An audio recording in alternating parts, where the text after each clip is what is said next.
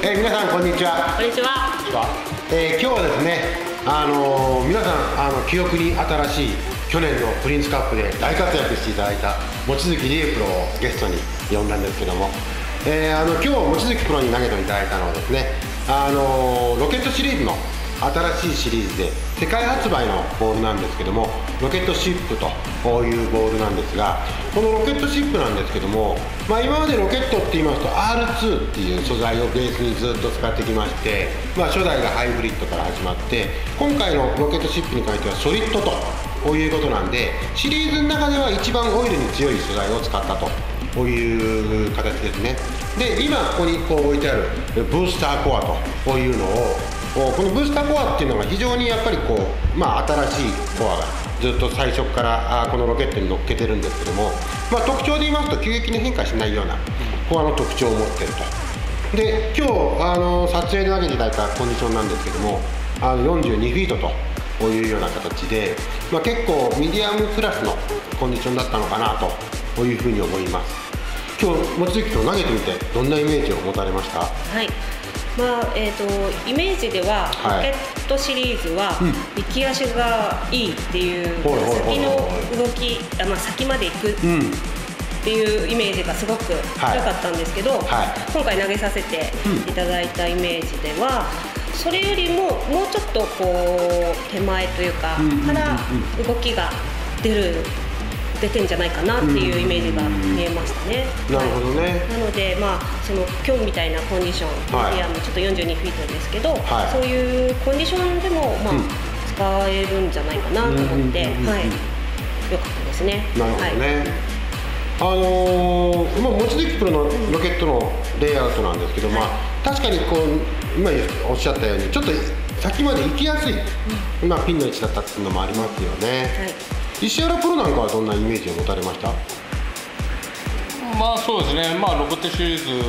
は初代ハイブリッドとかね、はい。まあ、多かったんですけども、今回は R2S のソリッドってことで、まあ、ちょっとオイルに強い、はい。でも、まあ、ボール自体の特徴っていうのは、えーそう激しく動くとはいいうボールではないんで、はい。まあ非常に、まあ、なだらかに入れ、あのこうポケットをつきたいっていう方には、非常に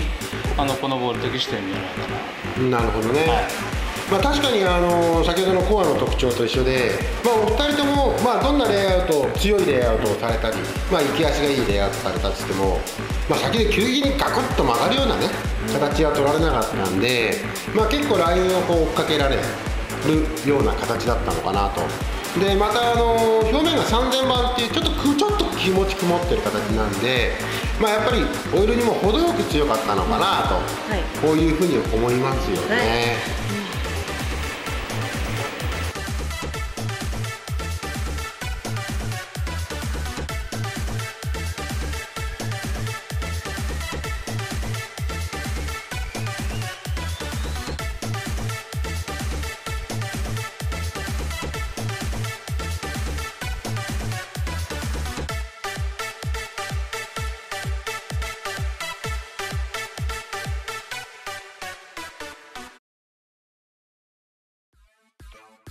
down,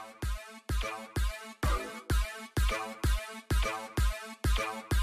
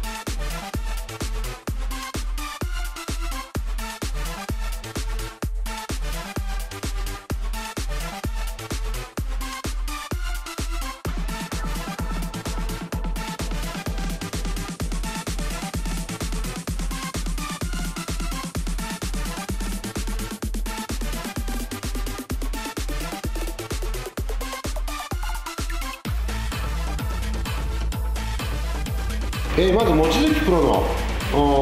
感想だと思うんですけど望月プロこれは普段トーナメントでやっていくようなレイアウトっていうはい。形なんですかね。やっぱアルファグラックスがオイルに強くてっていう形で言ってると思うんですけども、今日のロケットシップはどんな位置に？はい、ロケットシップは、はえい悩んでますね。ー、えーとですね、まあ、この一番下が、まあ、ディープパーはいル素材ですよね。はいまあ、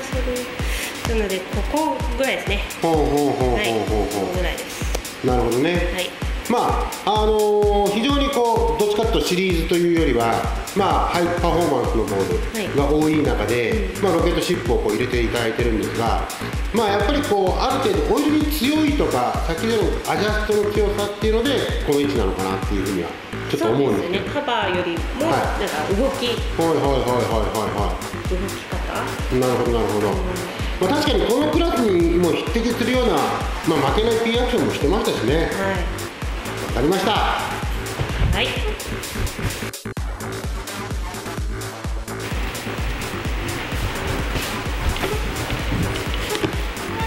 えー次は石原プロのシリーズ比較だと思うんですけども、はい。石原プロはやっぱハードソリッドは結構強いそうですね。はい。あのーまあこれもソリッドなんでね。はえオイル強い順に入れてみました。いなるほど、はい。まあそれとロケットシリーズがずっと来てるはい。中で、はい。今日のロケットシップはどの位置に？そうですね。やっぱりこう R2S のソリッドで素材だけでいけばですね、はい。やっぱりここだったりここだったりするとは思うんですけれども、はいはいはいはいまあこれハイブリッドなんで、は位置的にはこのぐらいの位置になるんですかね、と思うんですけれども、表面の加工もちょっと違うんでオイルの強さっていう面ではこっちになるんではないかと。わかりました。えー、まあこれのお二人にちょっとまあ今日のおロケットについてですねまあ質問とかもあったり、まあ皆さんが聞きたいんじゃないかなっていうところを聞いていきたいんですけどもまあ今日このロケットなんですけども、まあ、皆さんあの先ほど言ったようにブースターコアでフィリップロックっていう、まあこれえーウエイト調整がボトム側にあるんですけども望月プロの開け方っていうのはどちらかって言ったらこれがやはり皆さんから見るとこういう感じで縦目をこう強く向いてるんですけども、まあ、こういう縦目を強く向いてるボール。でこれは初代のロケットの表面なんですけどもまあコアが一緒なんですが、まあ、そういった意味では望月プロ、まあ、先ほど投げた感想もそうだったのかもしれないですけどこういうボールってやっぱり望月プロからするとまあどんなタイプに投げてほしいかなっていうのとどん。イメージ的にこう分かりますか？どんなこうボーラータイプ？この人にはやっぱり投げてほしいなみたいな。うーん。と そうえこの人あそうですね。まあなんていうんですかね。急激な動きを感じないので、はいはいはい。あのーまあどのっていうボーラーさんっていうよりも、うん。まあ皆さんそのバリエーションの中にはい。一つ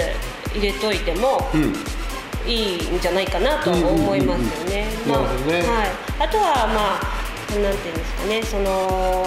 こう走り系のボールとかポリッシュ系のボールで、はあのちょっと動きがなんかわからないよっていう時は激しくなっちゃったよっていう時に、よしっつってこれをもあの用いていただければ、い。なんとなくその動きが少しこう柔らかくうん感じられる存在のボールの一つじゃないかなとは感じます。はい。なるほどね。あの逆に今度石原プロなんですけども、あの石原プロは先ほどのこういった形で言ったらちょっとはい。皆さんからすると望月プロが立ってて言ったらはい。こう寝てる、はい。こういう横に寝てるようなね、レイアウトを取って、まあ、どちらかって言ったらこうバックエンドが強く出やすい、んでまして,、あのーましてやこうオイルのある程度多い時でも使いやすいような設定をしてレイアウトしたんですけども、まあ、逆に石原プロどっちかって言ったらストローカーじゃないですか。でまああのこういう場面のボールって試合で言ったらどの場面に投げるのかなというのと、まあ、それとあと、まあ、どちらかって言ったら私なんかのイメージではハウスコンディションにいいのかなっていうふうには思ったんですけどもその辺もちょっと石原プロはどんなイメージを持たれたかなそうですね。やっぱりあのーハイロード系にねはい変わるところのロケットなんで、うん。まあ、位置づけ的にはやっぱりそのミディアムコンディション、はい。まあ、主にですね、はい。中間ぐらいで使いたい、ん。まあもちろん今ハウスコンディションという面に関しては、はい。まあ、ハイロードなんか非常に人気があったんで、うんそういう面ではその位置づけに間違いなくなるんじゃないかまあ、強いて例えば自分が使うんであればやっぱりちょっと、えー他のマスバイアスのあるボールで、うん。ちょっと動きがきついなと、例えばシャインのボールで、えー激しさを感じるんであればこういうボールで、うん。えー非常に扱いやすく、うん。えー調整が効くんじゃないかな。とん。いうふうには思ってますけどね。まあどちらかって言ったら結構万能性が強くなるようなねお二人のはい。イメージだと思うんですけども、まあそういった意味ではこのロケットっていうのはまあ本当にこう4尺目でねまあこう来て結構まあ使い勝手影の存在っていうわけじゃないんですけど、まあどうしてもやっぱりこうコードシリーズとかいろんなそういった高いクラスのことが目立ってしまうんで、まあ、結構こういうのって買ってみたいけどどの場面で使うのかなっていうのがね、まあ、皆さんこうどうどうどうしたらいいのかなっていうのがあったと思うんで、まあ、今のを聞いてですねあの自分の持ってるボールそれから今まで投げてるボールとああなんだこういうボールに比較できるんだとかあこういう入れ替えができるんだとこういうんで必ず必ずこう表面加工もちょっとシャイにしてみたりねすることによって非常に合うんじゃないかなと思いますんで、まあ、そういった意味ではぜひですね、はい。この3人自信を持って進められるボールではないかなというふうに思いますよね。はい。まあ、今日は本当に長い間お疲れ様でございました。はい。どうもありがとうございました。ありがとうございました。お疲れ様でした。値段もいいしね